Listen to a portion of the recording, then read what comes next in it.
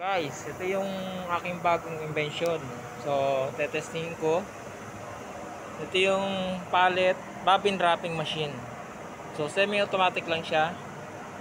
So, ito yung ginagawa ko nakaraan, yung winawiringan ko. So, tetestingin ko. Yung wiring is, papakita ko rin sa inyo.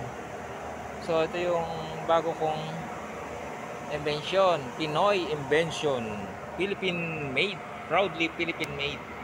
So, yung wiring na pinaka ano ko is ito na siya. So, inayos ko yung mga wiring. So, mamaya, papakita ko rin sa iyo kung ano yung mga nakapit dyan. Ito yung kinoconnect ko ng nakaraan. Then, ayan na siya.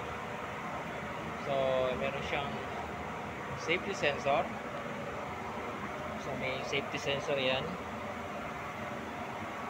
So, yan scrap yan 85% scrap.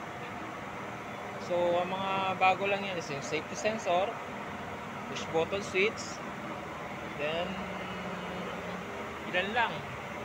So kaya mga scrap niya na 85% scrap 15% yung mga brand new. So yan proudly Philippine made Philippine invention.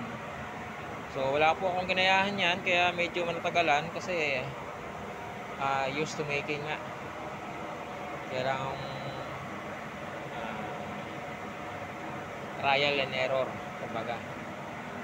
So yan pinapakita ko sa inyo yung aking bobbin wrapping machine. So tetestingin ko ngayon doon. Okay? Salamat